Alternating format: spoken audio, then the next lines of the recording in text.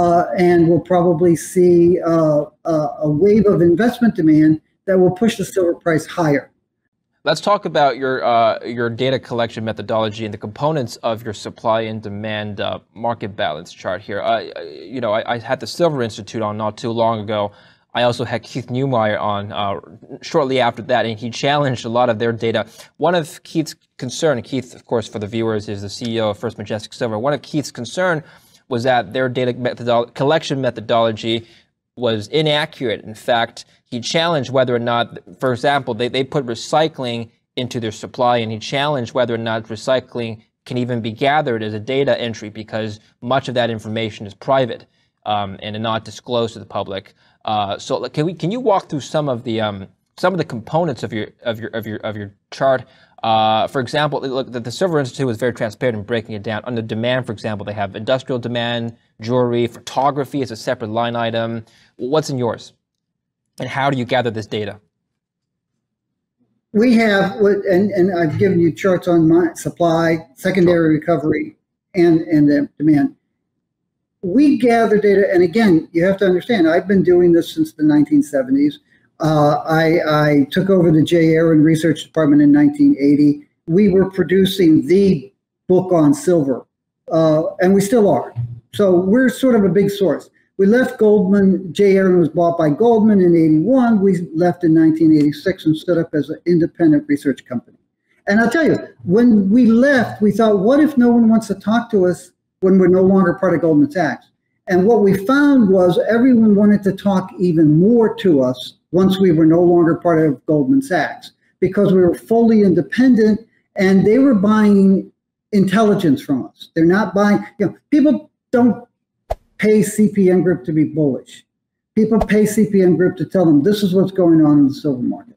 So what we do is we provide, we create research. And in precious metals and in specialty metals like manganese and vanadium and, and lithium and cobalt, you don't have a lot of data on fabrication demand. You don't have any data on fabrication demand or on secondary supply. And that's actually true with base metals too, to an uh, extent, but less so. But we came out of J. Aron, Goldman Sachs, doing precious metals, which are extremely secretive markets.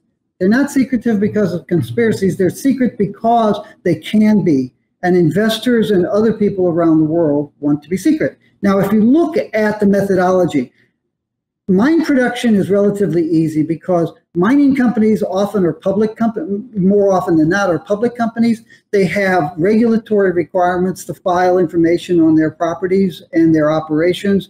And they also have an economic incentive because they're trying to stimulate investment demand in their shares. Secondary supply is primarily done by private companies that are extremely secretive and extremely competitive one against the other. And fabrication demand is done by a range of companies, many of whom are actually private or small uh, public corporations, and a few large corporations. Uh, and those entities have no legal or regulatory requirement to report how much raw materials they're hedging and pricing strategies. Uh, and then we also work on, uh, we work with fabricators on that. And then we also work with investors, advising them on what we see going on in the market. And you know, we've been involved with many of the major investors in silver since 1979 with the Hunt brothers. Uh, we were friends with them before I even went to J. Aron. Uh, and, and so what we do is we work with these people. Now that does several things. A is if they want good advice from us, they have to give us good information about what their exposure to silver really is. Right. The second thing is it gives us an understanding of how this how the metal moves through the market that you just can't get if you're a desk analyst who's not involved in financial transactions. And so that gives us a superior flow of information, which helps our research and analysis. We're very careful to never divulge confidentialities or blow them and we've worked with you know, major corporations, major governments, major investors, and we've never really blown that confidentiality. But being involved with them as advisors gives us insights into the market that you simply can't get as a desk analyst. Okay. So you let's take a look at this fabrication demand chart. Uh, it says fabrication demand is not rising, and you break it down by components: photography, jewelry, electronics, semiconductors, um, and so on and so forth. So it's not rising. Let's take a look at the supply side now. You have two charts showing mine supply. The first one that says mine production declined since 2015 in perspective, and the second one that says plenty of silver left to mine. Um, you know, I've been hearing this narrative from miners that indeed the reserves are depleting. Is that is that uh, something that's reflected in these charts here? Well, no, because reserves are reserves are depleting at existing operating mines. They're not depleting on an annual basis. So if you look at our first chart, and that goes back to something that you mentioned about Keith Neumeyer, we have mine production, and you can see that yes, mine production fell over the last four years. It reached a record high in 2015, I believe uh, fell for four years, and then we expect it to rise. And we also have secondary recovery. And again, you know, Keith is right. This is extremely secretive. These guys, you know, you can't just call them up and say, "Hi, I'm I'm Jack Smith from such and such a company, and I'm doing research on silver. How much silver do you recover from scrap?" They won't tell you, or they'll tell you something else. You know, uh, but CPM Group has good relations with refiners halfway, uh, all the way around the world.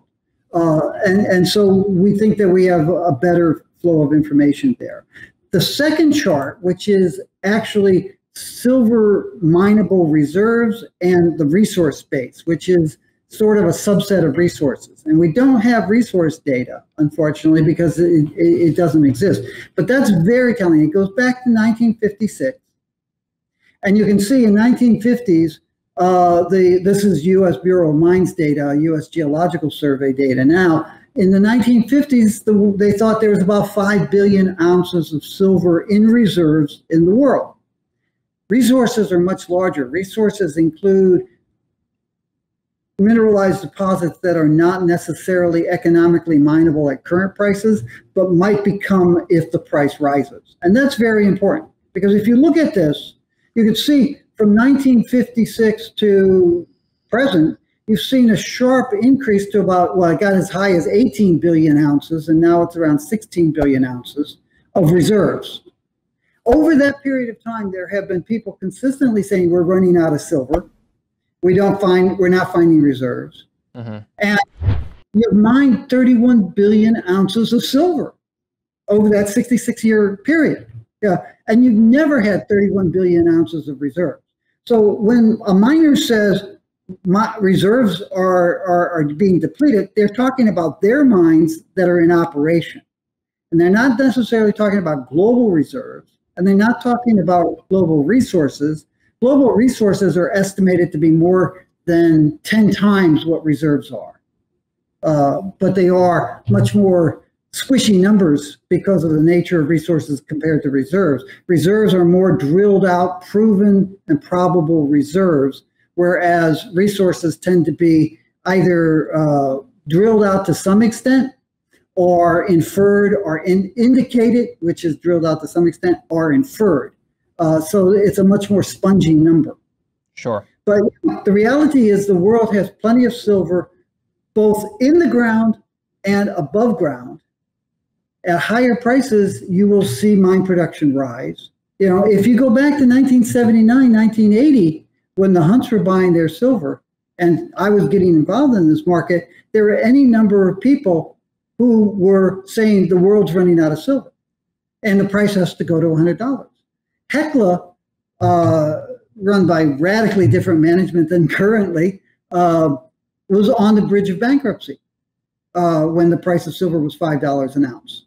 But when the price of silver rose to 15 $50 and then came down to 16 and was trading around 7 or $8, Hecla paid off its debt in a record mm-hmm. period of time.